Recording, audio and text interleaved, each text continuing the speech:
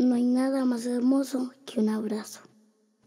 Escuché decir que ayuda a vencer el miedo. Y por fortuna hay personas que los dan con el corazón. Un abrazo significa no estás solo o no estás sola.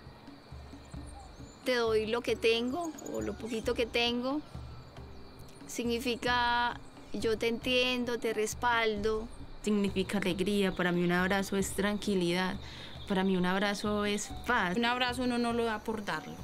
Un abrazo se da porque se siente, porque se necesita. Es un proceso de también de confianza, de, de, amor, de entrega. O sea, para mí un abrazo significa, significa muchas cosas.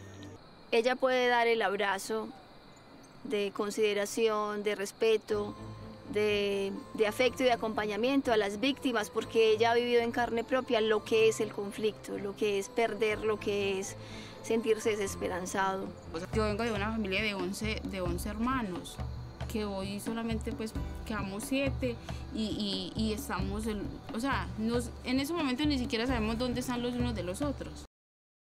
Yo creo que el primer paso para superar el dolor es decidir que no soy víctima, decidir que soy sobreviviente de algo que no es propio. Que ya las víctimas ya no sigan siendo víctimas, sino que, bueno, ya vivimos un pasado y estamos floreciendo, ya estamos en otra etapa. Yo no lo quise, yo no lo planeé, eh, pero estamos vivos, entonces eh, tenemos que hacer una vida digna. Porque la paz nace de nuestros corazones.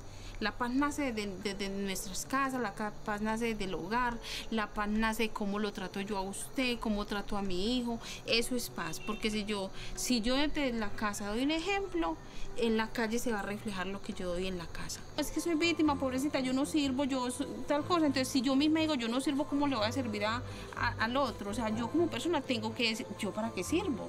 Si yo sirvo, le sirvo al, le sirvo al vecino. Sin mucho se puede lograr eh, unir sumar, se puede lograr hacer creer. Sueño un futuro que no tengamos tanta violencia y tanta guerra y no vivir todos como, como hermanos. No hay nada más hermoso que un abrazo y ella ofrece los suyos todo el tiempo para ayudar a vencer el miedo.